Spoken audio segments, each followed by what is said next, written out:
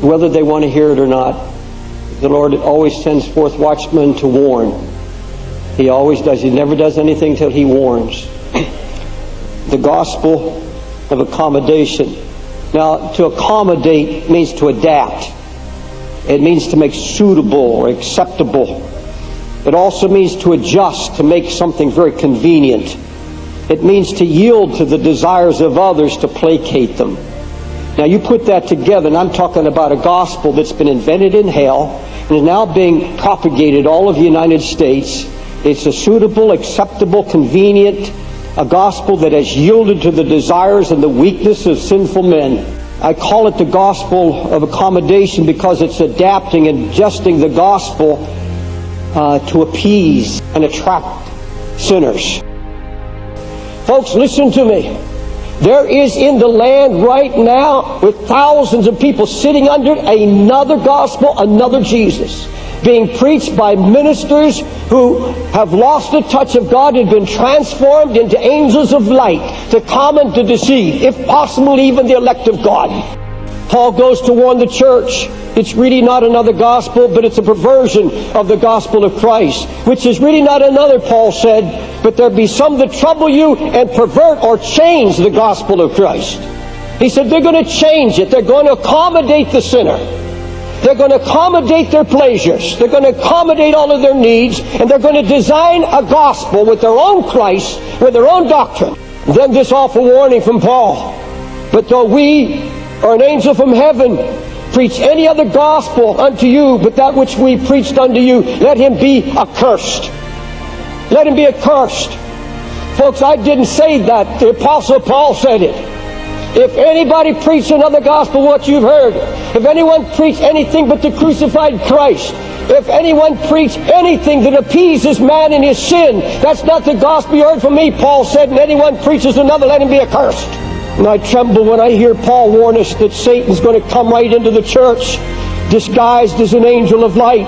He's going to infiltrate into the church with his own ministers. They'll come angel like he said, preaching a false gospel of righteousness.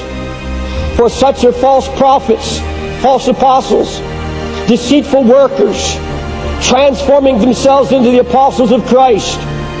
And no marvel, for Satan himself is transformed into an angel of light. Therefore, it's no great thing if his ministers also be transformed as the ministers of righteousness, whose ends shall be according to their works. Paul said they're going to come and they're going to glory in the flesh. They're going to glory in their might, their money. They're going to glory in their bigness, their numbers, and they're going to glory in the fact that they're so contemporary. Um, what I love about our church is you have different races, different faces, different um, backgrounds, but people are committed to one cause, and, and it makes. So it's not a sin in your church to have an abortion. Um, that's the kind of conversation we would have, finding out your story, where you're from, what Work you through believe. it, like talk yeah, about I mean. God's the judge. People have to live to their own convictions, and I think if I have to tell you.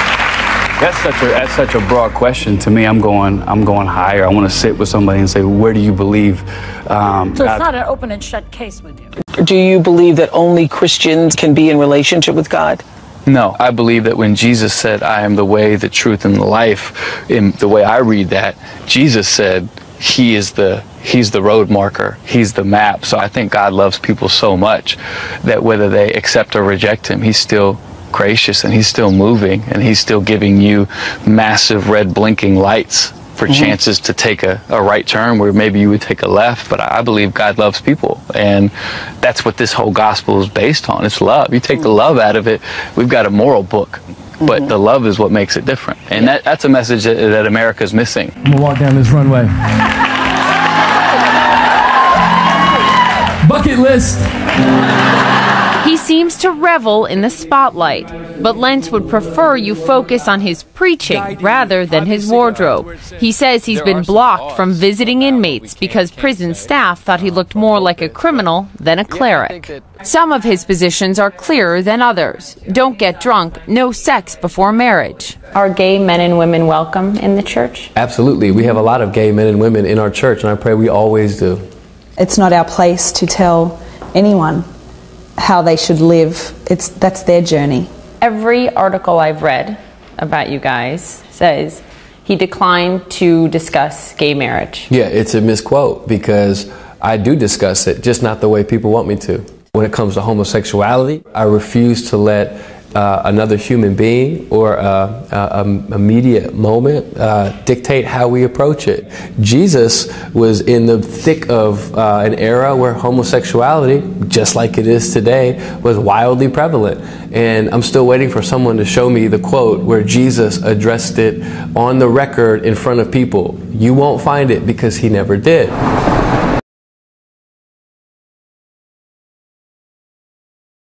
Hey guys, welcome back. We're here at Hillsong Conference 2017, having the best time, and got some good friends of mine that have stopped by on the couch. We've got Chad, Justin, and Carl. love you. I love you, man. I want you to know you're loved. Thank you so much, guys. So, so guys, really quick, you guys have been all over the place. Carl, how you doing? How you enjoying conference We've so had, far? you know what? We had the the best day today, Yeah. and I think it was outside of like conference hours, Yeah. which is Yeah. kind of like why I think we end up loving conference. But we turned on some worship music, we prayed, had a couple cool moments, went to Young and Free. Best Um, moment. You said it was one yeah. of the best moments So you ever. were Young and yeah. Free today, the youth conference. Talk about what you were seeing. Did you enjoy it? I just enjoy seeing people worship, praising God. And I think it's always really kind of wild and amazing to watch such young kids passionately Yeah. Them praying. Get better. That's why I we just all want to love people more. I just want to love Carl more. You're doing a good job with that. So, man. Justin, this is your second time at Hillsong Conference, Yes. and what's different this time about being here? Um, I just think my faith grows every day. Um, so my faith is stronger than two years ago. Better, stronger, wiser, kinder. So there's probably a lot of people watching right now, and maybe they've never been to Sydney, Australia. They're getting a little glimpse thanks to TBN and thanks to Yeah. Hillsong Conference Live and all the different avenues that are creating a space for people to see it. But mm-hmm. maybe just in terms of people that are considering coming, 2018, there's already talking about it. Why do you think moments Carl's like this? Carl's preaching next year. Yeah, Carl's preaching next year, which we're all.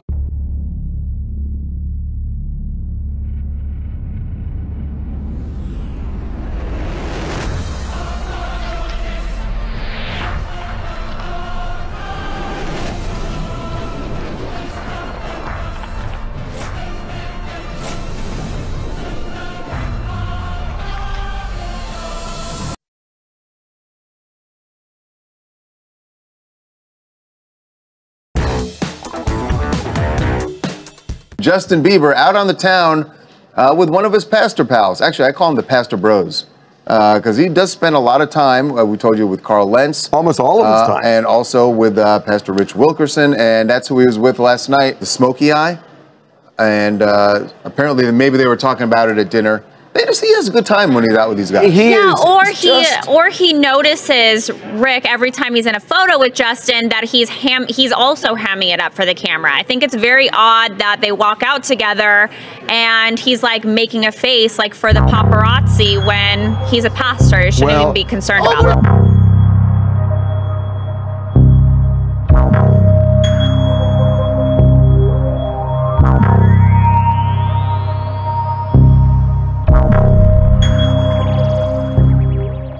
ABC News exclusive, the woman allegedly behind the affair that brought down Hillsong Church celebrity pastor Carl Lentz speaking out. And Amy is here with more. Good morning, Amy. That's right, Michael. Good morning. It was a huge fall from grace. Carl Lentz's global following included Justin Bieber, and a long list of celebrities and pro athletes will now, without a job and trying to repair his marriage, his former mistress tells us her side of what happened.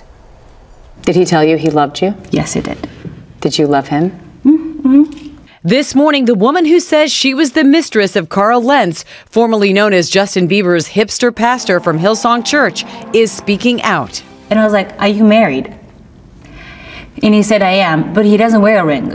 You never ever see him wearing a ring. When he told you he was married for 17 years and had three kids, did you think, I can't be with him, I can't date him? Or did you think, I'm okay with that? And I was like, It's all good. I was married before, and I didn't want to judge him because I was like, I like to meet people and feel like they're like a, a blank canvas, you know? You get to know them and you let them paint their own colors on it. You don't go and just sticker, put stickers on people and think they're gonna be that and gonna be this. And I didn't want to do that to him because I didn't want to judge him. Who could use a little bit more wisdom? Lentz was known as a rock star priest at Hillsong, a church previously frequented by celebrities like Chris Pratt and Vanessa Hudgens, and followed online by more than half a million people. That's why I just want to love people more. I just want to love Carl more. Ranin Karim says when she met Lentz five months ago, they began what she calls a consensual affair, in spite of what she thought were red flags, including him telling her not to Google him, saving her number in the Notes app instead of his contact list, and refusing to tell her his last name or what he did for a living, despite regularly posting photos of himself online with Hollywood elite and NBA stars, something she says she didn't know at first. He's like, you know, I work for with celebrities, and I say, what exactly you do? And he keeps saying, um, I manage celebrities and I travel with them. He didn't want to say what he does. Did you think that was a red flag? He, he won't give you his last name? Yeah, it was. Because, I don't know, it was really strange. Karim says she searched online and found out more about him. I realized that he's the pastor from Hillsong, and I was like, oh, I was at this church like six years ago. You had been to Hillsong? One time. Only one time. She says she confronted him. I told him, I know who you are, and I'm, not here to judge you. But I have a question. I was like, like, there's something wrong with your marriage that you're sitting here with me? He said, no, it's like, it's you. Karim says she tried to break the relationship off several times, but that Lentz kept coming back to her until late October when she says his wife Laura found out about their alleged affair. Did he call you to tell you? Is that what he did? It was a phone call? Yeah, he called me at midnight and he said, my wife, he was in the hallway. You can hear he was in the hallway. He's like, my wife found out and um, I gotta go, I gotta go. And I was like, I was devastated. The next month, Hillsong firing him, citing several reasons, including, quote, moral failures. Lentz later admitting online that he had been unfaithful in my marriage without saying who he had been with. Hillsong has now begun an investigation into the culture of the church, but Karim says Lentz's rising celebrity may have contributed to his behavior. When you give somebody so much power, they become God to people. And I think people forgot the, the concept of religion and beliefs. And I think that people look at Carl like he's God to them. I know that you've said that you have already gotten hate and people who are upset with your choices, even for having the affair with Carl in the beginning, knowing that he was married. Is there anything that you would like her to know? Anything you would like to say to her if she were to listen? I feel bad for her. You know, woman to woman, I don't think she, she deserved to, to be hurt the way that she did. And um, I, I never meant to hurt her. Now, we tried to reach out to Carl Lentz to respond. He had no comment. As for Ranin Karim, she says she just wants to move on with her life, and she says she hopes that Carl can find his true self, guys. Hmm.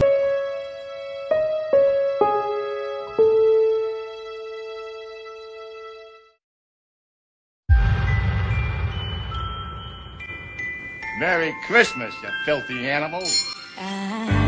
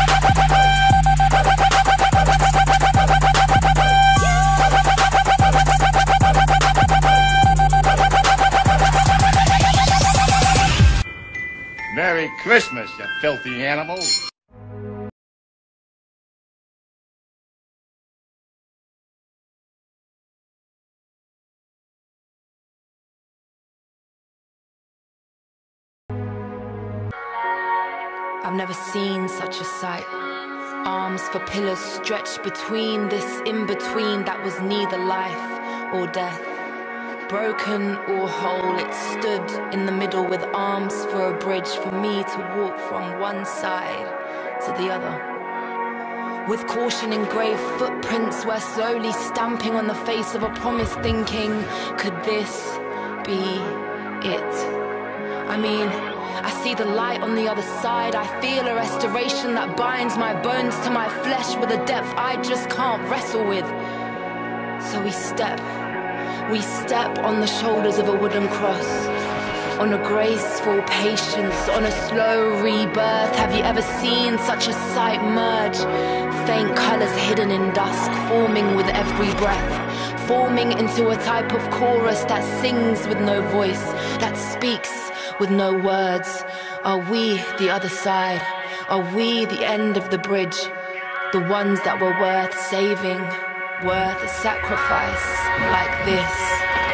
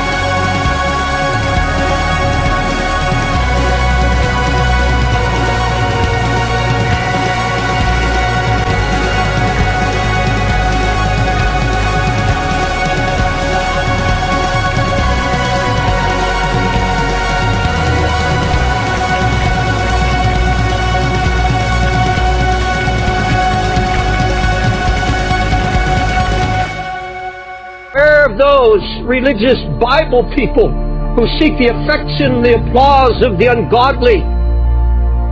A church accepted by the world is an oxymoron.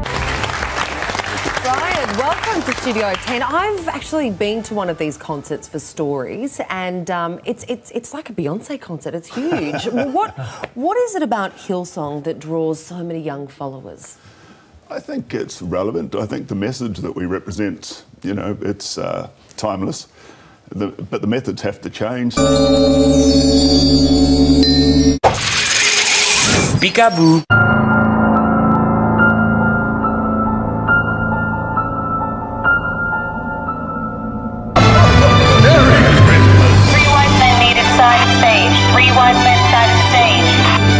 Okay, one, two, where's three? The halls with boughs of holly.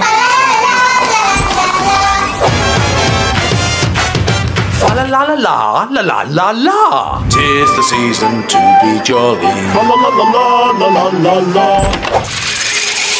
Peekaboo. La la la la la la la.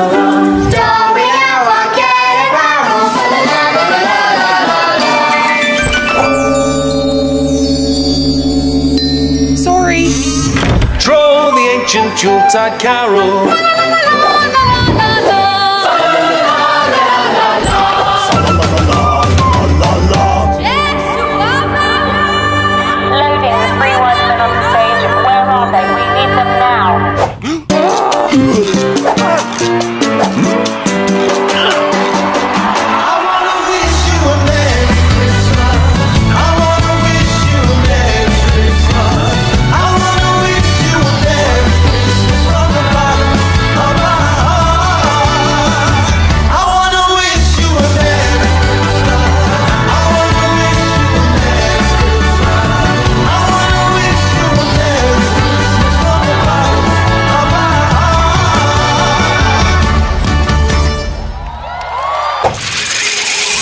applicable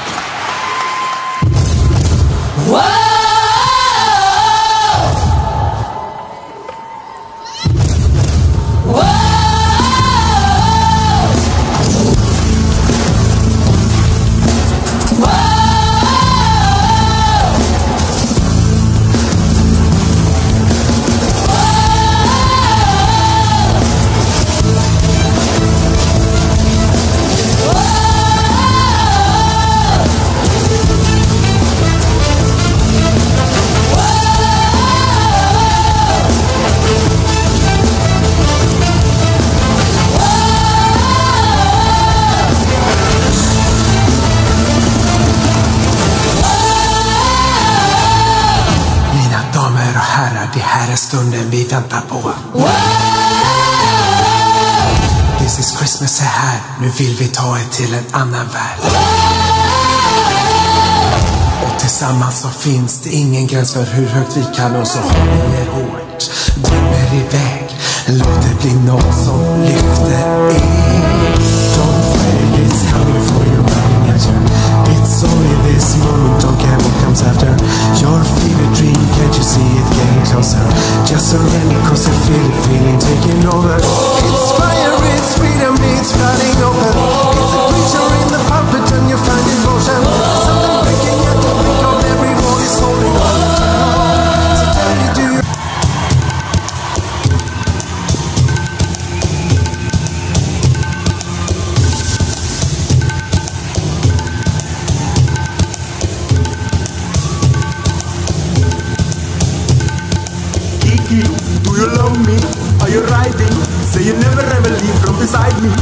I want you, and I need you, and I'm down for you always. Kiki, do you love me? Are you riding? Say you never ever leave from beside me. Cause I want you, and I need you, and I'm down for you always.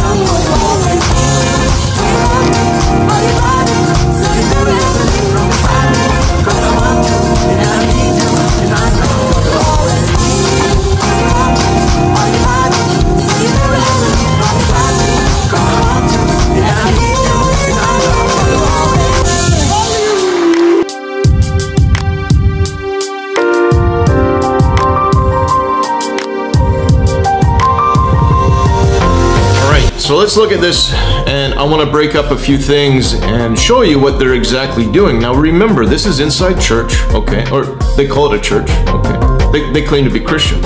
Now, remember, just as I'm a Christian, or if you're watching this video, you're a Christian, we take our faith very serious. There is a King of Kings and the Lord of Lords. They're claiming to be celebrating the birth of King Jesus. Now, there is another entity on earth. It's called the God of this world. Okay, there is a Satan and his demons. Okay, and there are people that worship Lucifer here on earth. Okay, now one of the greatest tricks of the enemy is coming inside of the church and performing satanic rituals in front of Christians. Okay, not only that, the Christians pay tithes and offering. Everything you're seeing here has been paid as um, tithes and offerings to the Lord. Okay, and then they went out and they bought all these costumes and performed this ceremony, this ritual in front of children. Okay, so let's look at it together and break it up a little bit. So, the first thing I want to pay attention to is this is called the Dance of a Thousand Hounds. Okay, Thousand Hands of Buddha dance history. In Buddhism, Kanying people are honored as the goddess of mercy. Her full name is Kun Xing Ying. In translation, it means to watch the world in sounds. Okay, so bottom it says King Ying seeks into the material world to make the lives of ordinary people easier. Now, I've made this, this is a picture of her. Okay, now if you look at the headdress, uh, I made a, re- a red line. Now, on the, the two pictures at the bottom are the Christian girls performing this at the celebration of our King Lord Jesus, okay, the King of Kings and the Lord of Lords, they decided to worship this God, this deity, okay?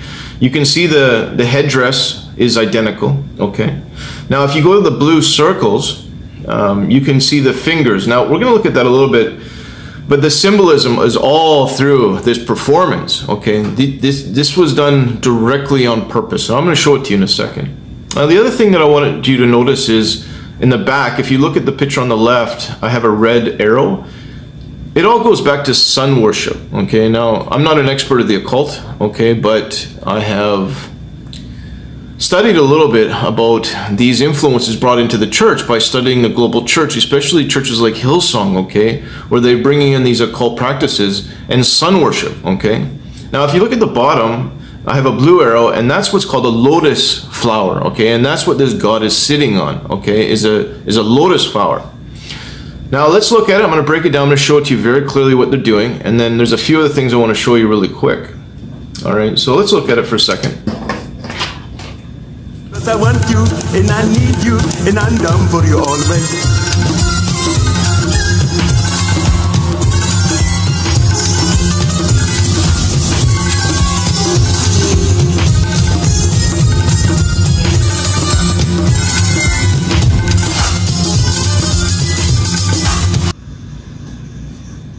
Yeah, I'm going to slow that down a little bit for you, and I'm going to point out some things. I want you to look very closely at their fingers. See how they're holding their hands? They have the headdress on. He runs away with the girl, okay? And in the background, you can see the big lotus flower, okay? Now, they're, they're performing this dance, and you can see, watch their fingers as they pull off this bang, okay? So this, this is occult worship. This is satanic. This is, remember, this is inside of a church. And these are professing Christians that are doing this, okay? Now, I also want you to look at the background. See how they're performing that? Occultism is about secret knowledge or uh, the secrets of the universe, okay? It's called, um, what is it called? It's called esoteric knowledge, secret knowledge. That's what the occult is. Christianity, we have full disclosure. Where's my Bible? We have the Bible. Okay, Christianity, we are the light. And if you notice that these occult practices are always done in the dark, okay, dungeony dark rooms with the laser lights and the smoke But Christianity, we turn the lights on. We have full disclosure, okay? We're not trying to hide anything. We're not trying to do secret messages. So I'm going to give you to you one more. Let's look at a picture, and then I'm going to show you one more thing here.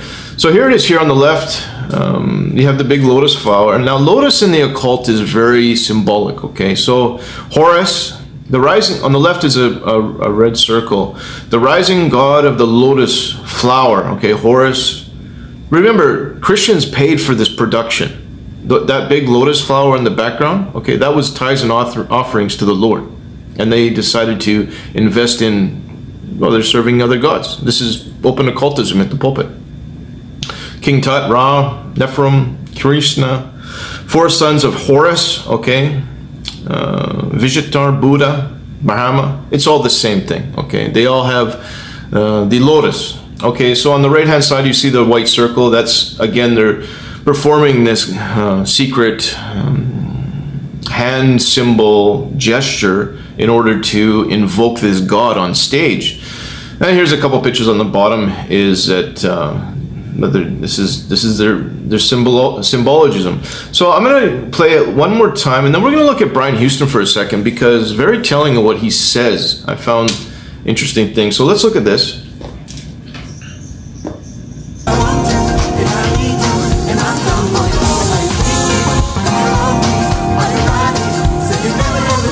Now you can see they always perform this ritual with the lotus in the background. It's all over the internet. It's everywhere. And you see the, the, the screen on your right. Uh, these are open occultists, okay, worshiping their god or deity. And above them is the triangle, all-seeing eye type thing, okay. It's all the same, okay. So here they are. It's the same thing. It's identical. It's irrefutable.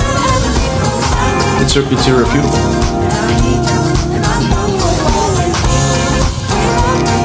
This is supposed to be a church, a Christian church. So, I'll wait a few more seconds.